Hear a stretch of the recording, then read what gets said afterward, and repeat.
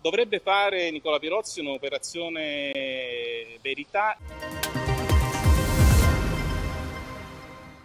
A Giuliano scoppia il caso delle lettere anonime. Il primo a parlarne era stato Rosario Ragosta in un post su Facebook, poi Paolo Liccardo che in aula consiliare ha rivelato di essere stato dalle forze dell'ordine per disconoscere due lettere con la sua firma. Infine il sindaco Nicola Pirozzi in un lungo post ha parlato di macchina del fango nei suoi confronti, una vicenda incresciosa su cui anche l'ex sindaco vuole vederci chiaro. Queste le parole di Poziello durante la nostra trasmissione Campania Campania oggi. Credo che durante la mia amministrazione di lettere anonime ne siano arrivate in quantità industriali, insomma molte riguardavano anche, anche me, immagino siano arrivate anche da altre parti. Nessuno si è indignato prima, nessuno si è indignato dopo, credo che è un costume tutto italico. Però mi ha fatto venire la curiosità e quindi vi, vi preannuncio che tra qualche ora gli mando una richiesta di accesso agli atti per vedere che caspito sta arrivando al comune, perché sono curioso di sapere a, ti, a, danno di chi arrivano queste lettere, cosa dicono e via dicendo, e che fine fanno poi quando arrivano. Una situazione che per certi versi incuriosisce la cittadinanza, ma per altri preoccupa.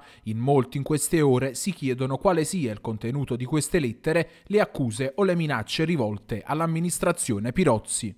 Eh, io credo che eh, fare una disquisizione su un, sulle lettere anonime dia anche questo il senso del punto basso a cui siamo arrivati. Sono sempre arrivate, non ci siamo mai preoccupati più di tanto. Dovrebbe fare Nicola Pirozzi un'operazione verità e quindi, visto che se ne è parlato tanto, pigliassero queste lettere e le pubblicassero, così insomma, chi ha titolo a, ad avviare azioni a propria tutela lo, lo fa.